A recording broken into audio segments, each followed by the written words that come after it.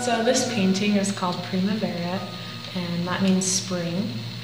And uh, spring is often a symbol of youth and life.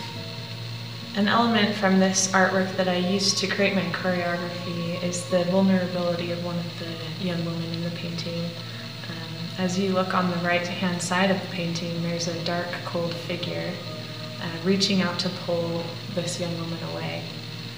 My interpretation of this is that sometimes winter or death comes early or unexpectedly to invade the spring of life.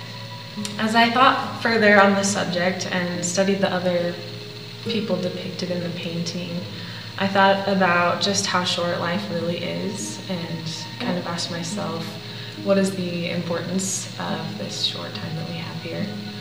And the thought that kept coming back to my mind is the, the idea of relationships and um, connecting with other people.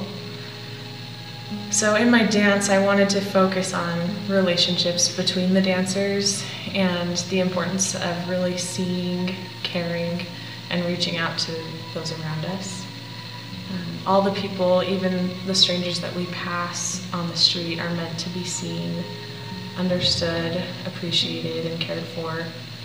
And um, I, I wanted to really portray um, the, the meaningfulness of, of connecting with each other in this life and enjoying one another and assisting each other during difficult times.